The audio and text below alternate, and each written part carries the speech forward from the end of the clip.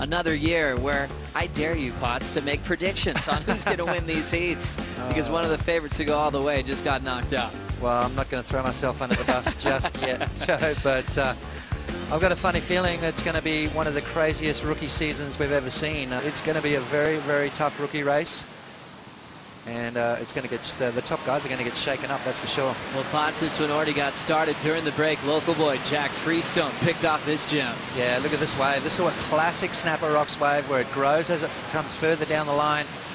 You heard Strider talk about how clean it is. Sometimes it's really hard to surf the wave when it's so clean. Not for Jack Freestone, just absolutely tagging this wave all the way through the inside. Series of beautiful turns and milking it all the way through. No mistakes right there. Nice, clean, smooth surfing to open things. And uh, Sebastian Zietz, well, he's got some work to do now. Why? Because a massive score for uh, Jack Freestone. Pete said, hey, by the way, you're number two in the world. He said, radical. He just was taking it all in. He said he could have hung it up there. He's always just keeping it light, having fun, and his best surfing comes to the table. Freestone up. Fin drift off the lip. Beautiful open face hook from the local, from Tugan. And he'll hop out. Seabass out of look on the wave out the back. Really put some pressure on Seabass. I like the fact he's paddling back out. Catch something out on the way. As we see Sebastian Zietz is kind of caught behind the section a little bit right there. There's that trademark sort of stylish turn back into the power source and kicks out. So Seabass, well, still looking for a good one, but Jack Freestone found a nice little gem on the inside. Watch this wave as it hits the inside bowl, stands up for Jack, and there it goes. Bang, throws the tail out, beautiful turn, straight off the bottom into another searing rail maneuver. And again, just uh, a nice put together wave, not a long one. It's not going to be a huge score, but it's going to give him a good two-wave total and a price and pressure on the young Hawaiian. Do anything to stop that. He's just going to do what he's going to do. I just got to make sure I'm on the better wave. Thoughts going forward into round number three? Uh, just stay loose and keep doing what I'm doing and uh, just enjoy it. Great job, nephew. Going to see you in round number three. You know, how sort of tight things are. I mean, it's uh, Felipe come around that, we would have seen a massive score and maybe a different result. Seabass up and riding, though. He needs to get busy. At the moment, just a pair of twos.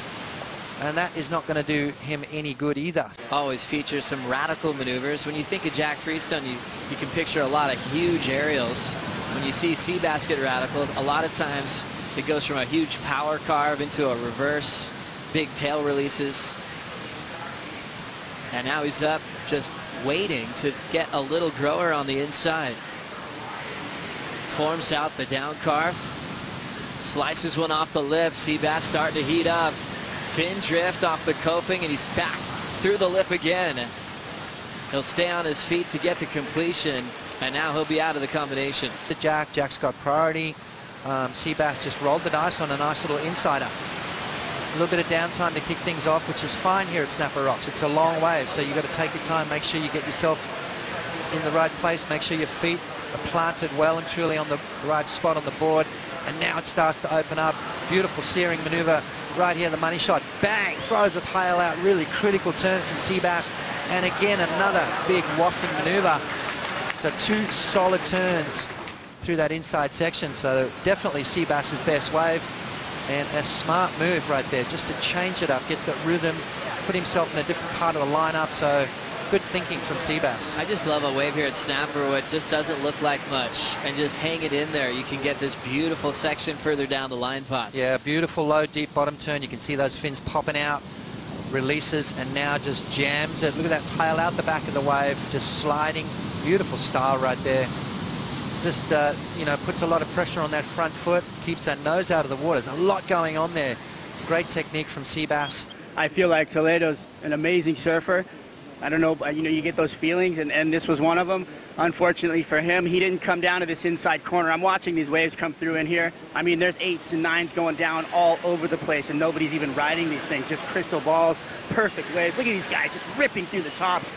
Seabass looking like he's on point. Jack Freestone already proving he's on point coming off the older days where it almost felt a little bit easier with the usual suspects.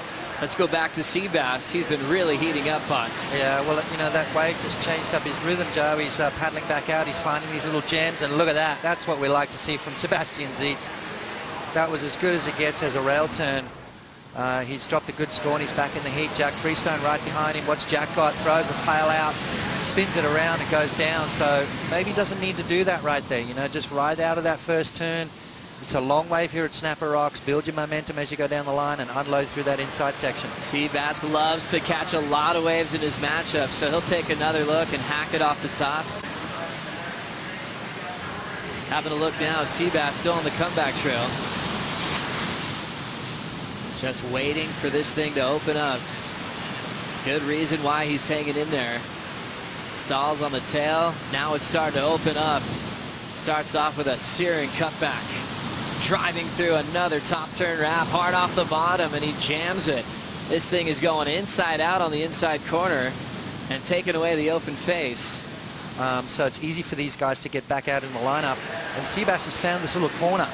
Um, and it's just doing him wonders right now. 6.73. We're still yet to see a couple more scores drop for Sebastian Zietz. Watch this, just waiting for it, waiting for it. Now he starts to unload. Beautiful turn right there. Just gets more and more critical. And another one. Three, uh, three turns in succession. Three beautiful rail turns. That is going to be another big score. So Seabass out of that combo situation, Joe. Two scores just about to be dropped. And this is what we like seeing from Sebastian Z. So starting to crank it up one of the best styles on tour as he draws low off the bottom. And watch this turn right here, just stomps on the tail and drives off those fins, throwing a lot of spray. So critical stuff right in the power source of the wave. Sebastian Zietz is going to get the lead over these last two waves. And Jack Freestone, well, the momentum has switched. And Seabass now, look at that, Joe. Massive numbers coming in for Sebastian Zietz, an 8.13. 6.73 before that, and he's taking the lead off the local boy, Jack Freestone. Do you think, you know, see, it looks like Seabass in this, in this uh, heat is catching a lot of waves. Do you think that's catching too many waves, or is it kind of something to keep the ball rolling? Seabass is at his best when he's just surfing, you know, thinking less and just surfing. And once he gets a little roll on, he starts feeling that rail, he, he builds in confidence, and as long as he sticks on his board, uh, you know, he's hard to beat anywhere in the world. So, and I think it's the same for Jack. Freestone's amazing when he when he just surfs and gets going. It's, it's so much horses for courses. Each surfer is so different, and you can't inbreed the sit and wait. And then when he got in Seabass's corner, Seabass was kind of the opposite mold, and he encourages it as Seabass just blitzed that big section as we were catching up with Witz. Yeah, well, I'll tell you what, Seabass has taken the lead, but uh, not only that, he's extended it wave before, big score. Now he's just starting to have some fun, and, you know, you heard Tommy Witz say that Sebastian Zietz is better when he just, uh, you know, just catches a lot of waves. He starts building that confidence, finding that rail. and Got a couple of solid eights in just a couple of minutes back to back. Now an important wave for Freestone. Big section to float. Looking for an 8.57. Throws it vertically. Snap to slide. Throws the tail out just to show his variety, but he ends up losing the reverse. But Seabass probably feeling a little bit better with priority. Let's see what happened here, Potts. Yeah, smaller wave. It's one of those growers, and uh, you know Jack really did get off to a good start on this wave. It's got a really weird little kink in it. So once that tide starts coming in, we're going to see the conditions change. These guys really do have to sort of adjust, you know, and Jack maybe going for a little bit too much right there. The conditions we had through Thursday, and we'll see what happens early Friday morning. Having a look now, using priority is Seabass with 40 seconds to hold his lead. Clean top turn to get this one started into a climb. Now into some clear water. Setup turn for Seabass. Hits it off the lip, driving hard off the bottom, frames it, punches oh. the fins out, but he goes down. Will Jack have an opportunity with 20 seconds to go to hold Freestone off that opportunity? Jack's already looking up to the sky, realizing he's run out of time on his home court. The place where you want to go all the way to the podium in front of your friends and family. Freestone knocked out in round two by the solid comeback from Hawaii Sebastian Zietz, an 8.27 and 8.13 from some of the biggest cars in the game. Yeah, uh, just, you know, I tell you what, that was a, a heat of two sort of uh, parts, really. Jack Freestone dominated the beginning. Sebastian Zietz came back and uh, stole that momentum and just literally dominated the back part of that heat. So both guys, as you said, surfing incredibly well. Uh, just unfortunate for Jack. He just sat out the back a little too long, you know, a little bit out of position maybe, um, and waited too long for that last roll of the dice.